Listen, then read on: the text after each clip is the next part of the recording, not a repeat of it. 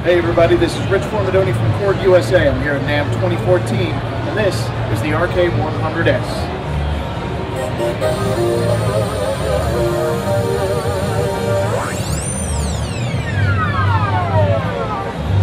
The original RK100 debuted in 1984, and now it's back with a vengeance. The new RK100S comes in three finishes, red, black, and white, and it's got a beautiful hardwood body and a new compact frame with 37 slim keys that are very easy to play.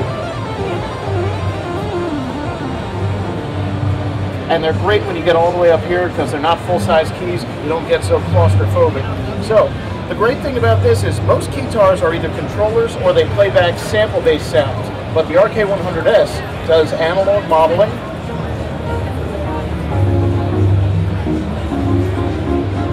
and it does digital synthesis, and it also does PCM.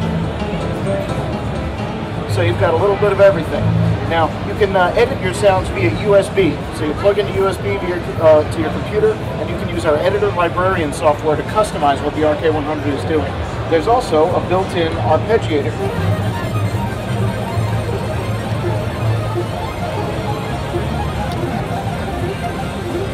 These buttons will light up to show the arpeggiator, and they'll also light up to show you your playing strength. And they're also quick shortcuts to your eight favorite sounds.